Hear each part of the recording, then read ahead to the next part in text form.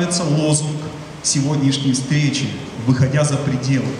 Это кажется мне максимально актуальным, потому что все, с чем мы сталкиваемся в повседневной жизни, это пределы. Пределы окружают границы, э, шаблоны, стереотипы окружают нас повсюду. Мы совершенно точно знаем, какой у нас будет распорядок дня на сегодня. Мы совершенно точно знаем, что будильник застрахует нас от просыпания, от опозданий. Мы совершенно прекрасно знаем, во сколько мы начинаем рабочий день, во сколько мы его закончим, во сколько у нас будет обеденный перерыв, чем мы будем заниматься вечером, что нас ждет, как у нас распорядок дня на неделю, на месяц. Мы абсолютно запланированы, заорганизованы. Мы абсолютно э, вписаны в иерархию человеческих взаимоотношений. Отношения начальник-подчиненный, отношения э, супруг-супруга. Э, на нас навешано огромное количество идентификаций. За этими группами, за этими бесконечными сугробами идентификаций современный человек теряет себя. И это жесточайший парадокс нашего времени. Парадокс тем более яркий, чем ярче в наши, и чем сильнее в наших душах закладывает декларация о том, что мы живем в обществе свободы и в обществе неограниченных возможностей личного проявления. Однако по этому поводу у меня вспоминается замечательная пословица «Свобода одного человека э, заканчивается там, где начинается свобода другого человека». В этом смысле э, мы очень гордимся тем, что мы представители западного, как мы говорим, цивилизованного, интеллектуального общества, общества с богатой культурой. И мы очень часто противопоставляем то, что у нас есть, те наши завоевания, которые родились в рамках, э, в рамках нашей культуры, тем завоеваниям и той специфики, которая есть в обществах традиционных. Якобы, ну да, назовите мне, там, скажем, 10 индийских композиторов или 10 полинезийских художников и так далее. Вряд ли кто-то сможет это сделать. Почему так происходит, я скажу немножко позже. Но вот на, э, именно на художественной культуре, э, которая является неким волей, некой, сказать, манифестацией свободы личности, свободы волеизъявления, я и хочу остановиться. Дело в том, что в рамках западной культуры возник такой феномен, как музыка, не только в рамках западной культуры, но э, музыка в западной культуре обладает, обладает своей спецификой. Примерно с 10-11 века на первый план в музыке выходит личность композитора. Но при этом его музыка ничего не стоит, если она не будет услышана. И вот за то, чтобы реализовать, за то, чтобы эта музыка была услышана, за то, чтобы композитор мог реализовывать свои идеи, показывать их, так сказать, э, рассказывать о них, о своих концепциях и так далее, общаться с публикой, отвечает некий посредник. Этот посредник – исполнитель. Исполнитель – слово, говорящее само за себя. Исполнитель, по сути дела, не обладает свободой воли. Все, что угодно может делать композитор. А что же исполнитель? Посмотрите на симфонический оркестр. Там существует точно такая же иерархия, как и везде, как в нашей жизни. Там есть отношение начальник-подчиненный. Самый главный начальник это кто, как вы думаете? Композитор, безусловно. Он написал текст. Есть э, некое лицо, которое ответственно за то, чтобы э, более или менее донести адекватно идеи композитора. Это дирижер, который выходит перед массой в 150-200 человек, в зависимости от того, какова партитура, и говорит ей своими жестами, диктует ей, что делать. Даже в отсутствии дирижера исполнитель связан нотным текстом. Есть ли свобода в исполнении чужой музыки? Практически никакой. Многие музыканты говорят об интерпретации, но интерпретация это 2-3% донесения авторского текста. То есть 97% это автор-композитор. И самое забавное, что э, композиторов в нашей жизни, в музыкальной среде, гораздо меньшее количество, чем исполнителей. И исполнитель вот в силу диктата композиторской воли не может проявить себя. Он не может выйти из этой скорлупы. К сожалению, очень многие из исполнителей даже не хотят, даже не представляют, какие скрытые резервы, какие скрытые возможности содержатся в них, в их душах, в их телах, в их ушах, в их мозгах, в их представлении о мире и так далее. Просто потому, что они свыклись с этой мыслью. Это очень похоже на нашу повседневную жизнь. Это очень похоже на то, как нас регламентируют со всех сторон. Существует некая параллельная музыкальная реальность. Это параллельная музыкальная реальность, с которой мы сталкиваемся, к сожалению, в западном обществе гораздо реже, называется импровизация. Что есть импровизация? По академическим определениям импровизация – это спонтанный акт творения музыки. Исполнение музыки, написанной кем-либо, акт далеко не спонтанный. У вас есть инструкция, вы эту инструкцию расшифровываете, разучиваете, согласно, опять же, канонам и правилам, которым вас обучили. И в точности э, исполняете ее, как она написана. Что есть импровизация? Никакой инструкции нет. Я подхожу к инструменту, Я не знаю, что будет в следующий момент.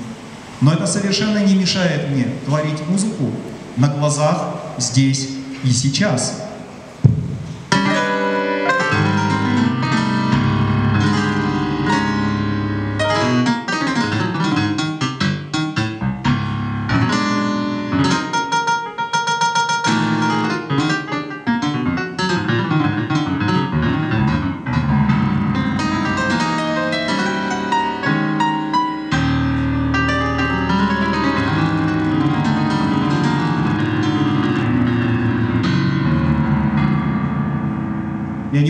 Занимать много времени, не буду долго играть, потому что это не концерт, это совершенно другая история.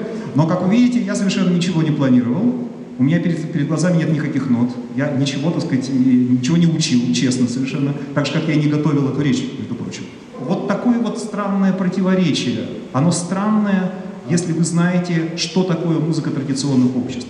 При том, что мы очень часто говорим, очень часто противопоставляем наше техногенное общество, общество свободы, обществом традиционным, говорим, что там нет личной свободы, там все подчинено общим интересам, там личность играет роль очень-очень второстепенную. Традиционная музыка, прежде всего музыка народов Востока, это музыка, основанная на импровизации. Безусловно, эта импровизация творится по определенным правилам. Но эти правила а, служат для организации материала и ни в коем случае не для подавления личности. Каково является система взаимоотношений композитор-исполнитель в случае, если вы исполнитель. В случае, если вы исполнитель, ваше личностное начало абсолютно подавлено композиторским текстом, диктатом композиторской воли. Любопытно, что западная музыка шла к вот этой вот э, взаимоотношениям композитор-исполнитель достаточно постепенно, и композиторская эпоха в э, западной культуре охватывает примерно период в 10 веков. Примерно с середины 20 века эта ситуация начала меняться. Появилась джазовая музыка, в которой есть регламентация, то есть есть некий способ организации материала, там есть гармоническая сетка.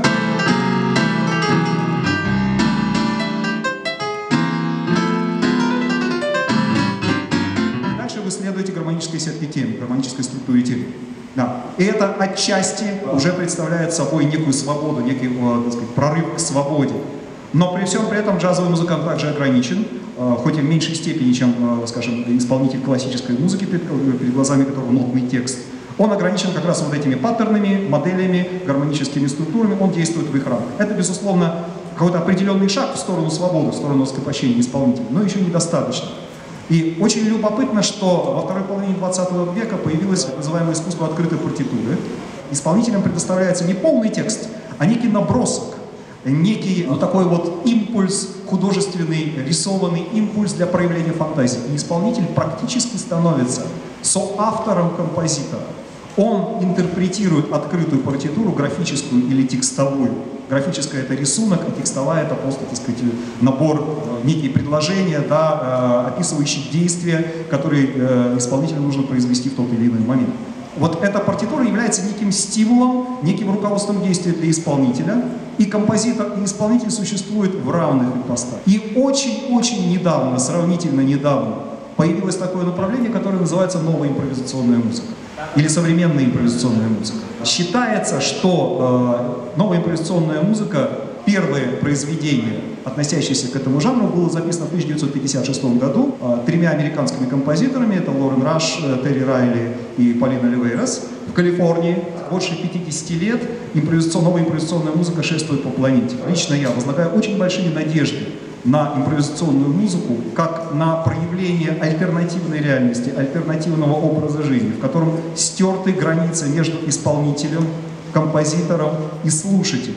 Мы в какой-то степени возвращаемся к мистерии, к вавилонским временам, когда не существовало границ между исполнителем и композитором, вообще фигуры композитора не было. То есть творились некие спонтанные действия, направленные на что? На раскрепощение, на обретение своей подлинной природы, на обнаружение себя, какой ты в этот момент здесь и сейчас. Импровизационная музыка творится здесь и сейчас. Ради того, чтобы пропагандировать импровизационную музыку, в городе Новосибирске э, примерно два года существует лаборатория импровизационной музыки. Она находится в, в Сибирском центре э, современного искусства.